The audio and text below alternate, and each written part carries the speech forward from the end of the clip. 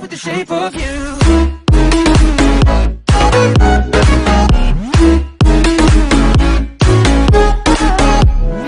JDP Gaming here, once again bringing you another episode of my fantastic, great, no I'm joking, but no, bringing you another episode to my Coventry City Career Mode series. I was very much aware of the uh, the previous episode I released in the in the matches I was commentating on.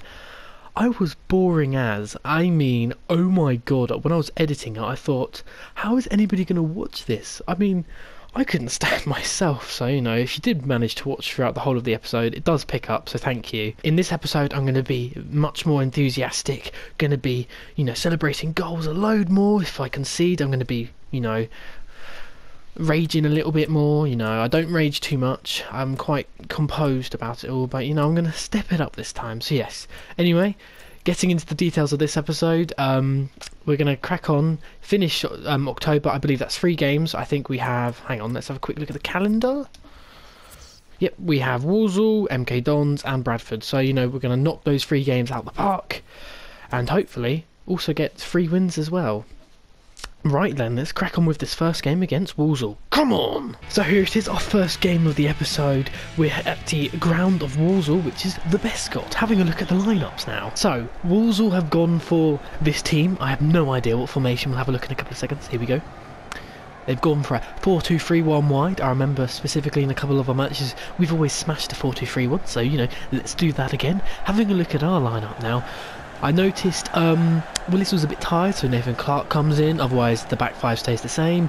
Bigirimana and Stevenson partner up in the middle of the park. Jones stays at cam, and Bevan is partnered up with George Thomas. Right, they've got it on this far side, having to chase it down again. Oh, bad touch, out for throw. Clark quickly, quickly takes it into the middle to Stevenson. Can he lay one of my strikers through? Jones is making the run. He's got the pace. Cross shot goal, just wide. Ah. Come on, that was the chance. Inches. Inches. Back into Kelly Evans. Oh, poor first touch. And he gets tackled, but we kept it alive though. Over the top. Oh no, through through for for Thomas. He crosses it in.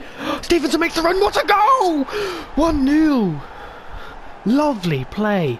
Mate, I thought the ball was overhit then with Thomas, but somehow he was able to control it.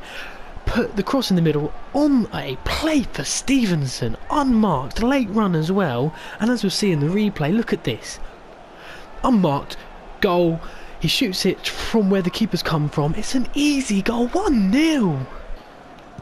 Keeper punts it up the pitch. We win the header. Oh, somehow still alive. No, it's not. There we go. End of the first half. So it's 1 0. We've played well. We got that all important first goal, which we needed. We were looking um, dangerous up front, and we uh, got the goal as a result. Walsall, they've had good possession in the middle of the park, but otherwise they haven't really troubled us regarding going forward. So it's looking like a comfortable game so far, but that could all change with a half time team talk. Regarding half-time substitutions, I noticed Jones was a bit tired at centre attacking mid, so I've uh, decided to bring back Bevan. He's now playing at centre attacking mid, and Felivi is coming up, coming on up front. Come on, we win the header, Clark, lovely. Poor first touch from Felivi. I slide in, and I sent the player flying. They got it on this far side now with Musa. He's all over the place, this guy. Deflected cross on the edge of the box now. Lovely play by Walsall and it's fired wide. And here's the foul pullback and Felivi's given that yellow card. We punted up the pitch now. Can Felivi win the header? He does indeed. Bevan carries on a run up top. He cuts inside. Over the top now. No, not really. To Thomas. Oh! How has he missed? Come on, it wasn't that hard a chance. Oh, he... Oh, goal. Oh.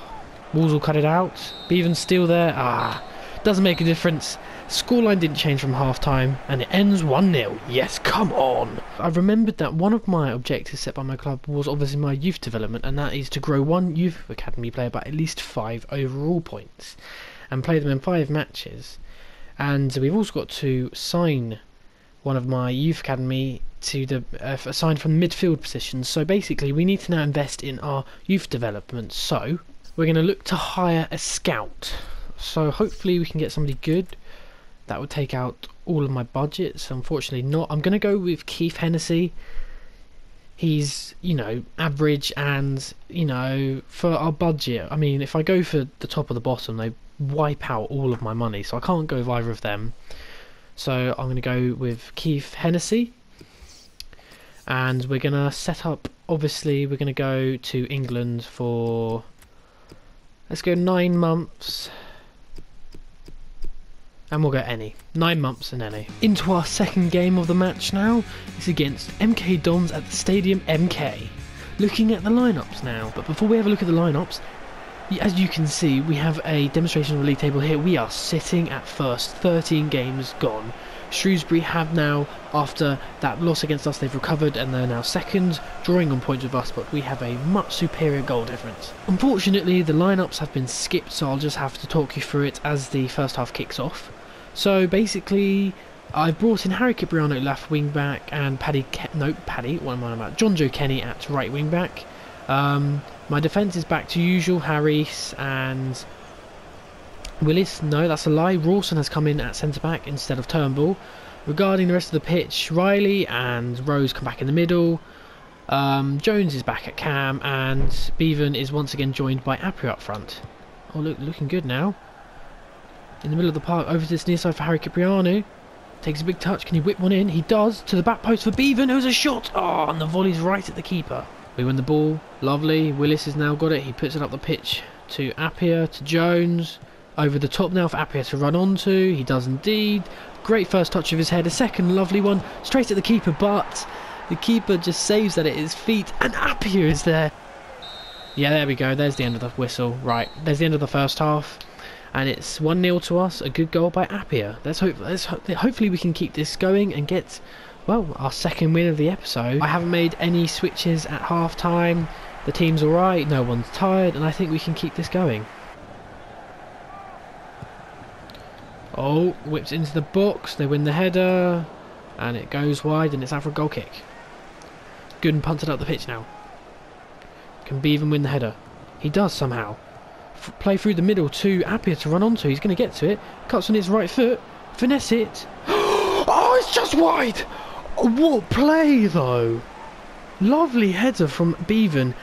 Is then laid through. Cuts in on his right foot. And he just misses. Oh, that would have been such a good goal. Going to whip this in now. Riley. Good ball. Get the header to it, Bevan. Appy still got it. It's over to Ro Appy now. Oh, sorry. Willis is the one who laid it off to Appy, who has a half volley, and it's just wide. Rawson's having to come over. Oh, he's missed it completely. What's he going to do he's going to pull it back? No, he goes alone. What a save by Gunn. I didn't know what I was. What I didn't know what the player was doing. Tried to, and then I thought he was going to play it back, and unfortunately, his footwork created him some opportunity. And what a save by Gunn. They've got their corner now. Oh, they pass it short. Got it in the box, pass it back, crosses one in. We win the header. Can we come away with it? Edge of the box, not cleared. We pass into the player. Willis is there to come across. He comes across again. Oh, and the shot is just over the bar. Making three substitutions now. I'm bringing off um, Rose for that yellow card he just received. Jones and Harry Cipriano because they looked a bit tired. Jonathan Leko comes in at striker. Bevan comes back at cam. Then I brought on Jordan Spence. I know he's a left mid, but I'm putting him at left wing back just because he has the pace to run up and down. And then Gadzhev comes in the middle for Rose. Played in the middle now. MK Don's looking. Oh, it's up. Oh, we've come through the back and given them a penalty. What? What? What was I doing? Oh, just turned. Oh, and just. Oh. Idiot, can we save the penalty now? I'm going to go left.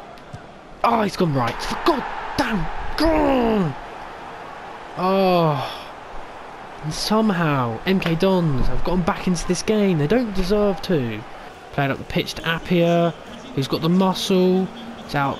It's out strength from the pull it back to Bevan. Has a touch shot. Saved by the keeper. Can Leko get the rebound? He does. Oh! It's wide. Oh no, the keeper saves it. It's out for a corner now. Let's have a look at this. Oh, it's going wide anyway. And the keeper just gets a hand to it. Right. I'm going all out attack now. Riley Whipping this cross in. It's a good cross. Willis is there. Oh, and the header is right at the keeper. Comes to nothing. And he punts it up the pitch. Can we keep it alive? Ah, oh, MK Dons have got the ball now. Ah, there we go. Full loss has been blown, and somehow we didn't get the three points in this game. But oh well. So the game's ended 1 all. MK Dons got a penalty due to a mistake by me. I don't know what I was thinking, and we come away with only one point. We have our final game of the episode against Bradford. Fortunately, the points dropped at MK Dons has not suffered our league position. We do still sit at um, top spot. Shrewsbury must have also drawn their games, so they're second still.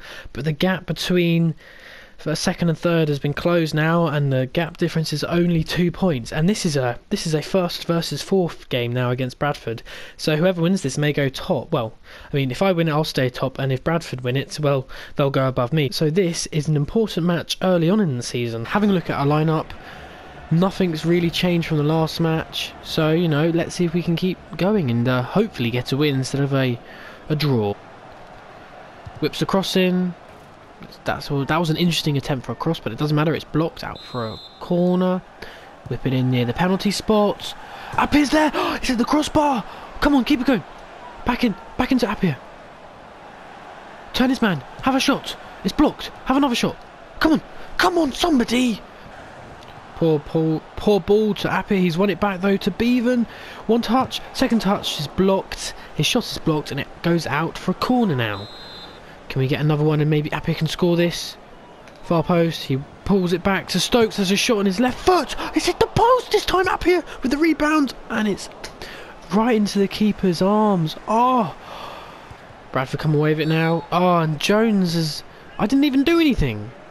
He's got on a yellow card. What is this? Let's have a look at this. I want to know why he got a yellow card. We just... He ran into me. Oh, come on, ref. Kelly Evans, though, down this near side. Oh, no. Poor defending. Whips crawl, crossing across the ground, comes to nothing, though. We still haven't cleared it. What was I doing there from Jones? Riley. Oh, lovely. Oh, what? And we've given away an, a free kick on the edge of the box now. What are Bradford going to do with it? Hopefully they can't score. Lovely. what a save by Gunn. That was goal bound, I'm pretty sure. Let's have a look at this free kick again. Right in the corner. Oh, he got over quickly, Gunn, and that's a good save. Right, they've got a corner now. Oh, it's a bit wide. They've still got it though. Appy's there to cut it out. He brings away with it. He's got the muscle to shove the player off, and it's up to Bevan now. Come on, let's keep this counter going. Through to Appiah. Come on. It's too far. No, it's not. Appiah shoots. Oh, it's a good goal. It's a cross goal. I thought the keeper saved it, to be honest with you, but no, it went past him and in the back of the net. 1 0. Come on. Bradford are just uh, playing it around the back now, and there we go. Half time. So then, that uh, 39th minute goal by Appiah is the only goal of the match so far in this first half. It's been a pretty decent first half. I mean, look, he's had five shots on only one goal. I mean, we've also hit the crossbar and the post. I don't understand how it's not more than 1 0, but doesn't matter. We can keep going strong and hopefully secure this victory. I've made two substitutions going into the second half. I've brought on Gael Bigirimana for Callum Reilly, who looked a little bit tired in the middle of the park. And unfortunately, Jodi Jones had pick up had picked up an injury. He was stickered, so Leko comes on for him, and Bevan is once again dropped back into the centre attacking mid role. Plays it through to Appiah. Oh, that's a good ball. Come on, he's beating him for pace. Oh, unfortunately, the first, the big first touch is too close to the defender, and he was able to cut it out. What a ball though by Stokes. Willis there again comes across, wins the, the ball over to Leko. He's up the pitch now. Big touch for him. Pulls it across the box to Appiah. Ah, oh, wasn't hard enough, and the player clears it for a corner. Bigirimana whips one in. Willis is there. Oh, what a save by the keeper. Bradford now have it on the counter. On this far side, Kelly Evans though over there to help defend, but he's muscled off and they're still going. He wins it though eventually, it's alright. Stokes, oh that's a poor ball in the air to uh, Bigirimana. Not much of a clearance. Oh, he turned my player brilliantly. What a block though. from Kelly Evans, making another switch now, bringing on Harry Cipriano for the tired Stokes. They've got it on edge of the box dangerously.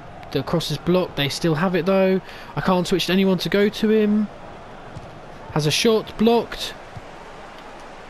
Oh my god, dangerous play. Oh, three against one. Surely this is a goal. Leko, he's got the pace. Is he going to pull it back? He switches it over to Appiah. Oh, it doesn't matter. Yes, now it is 2 0. Appiah's shot wasn't the best because it was in fact saved by the keeper, but he couldn't stop it and it still went in the back of the net. I was a little bit too casual with this. I finesse shotted it and I didn't do it too well either because it was right at the keeper, but unfortunately he he's still well he saved it but it still went in the back of the net. And the final whistle is blown and it ends 2-0 good game good result and that is us still at the top of the table. So we have the email back from my assistant manager about the news for Jodi Jones and he's going to be out for three weeks with a sprained ankle. So that is effectively both our centre attacking mids now injured. So we're going to have to probably bring back Bevan and he'll be our cam for the time being. So there we have it. That is the end of the episode now. So we won two out of three of the games and draw drew our other one. Having a look at the table at the bottom right hand of the screen, we remain top of the table but one point separates us and third place, so it's still very tight. Shrewsbury are keeping up with us. Right then, that's the end of the episode. Thank you all for watching. Hopefully, I was a bit more charismatic in my commentary, and I hope you've liked, and I hope you have enjoyed it. If you have, then always then smash that like button, and you know subscribe for more. Bye.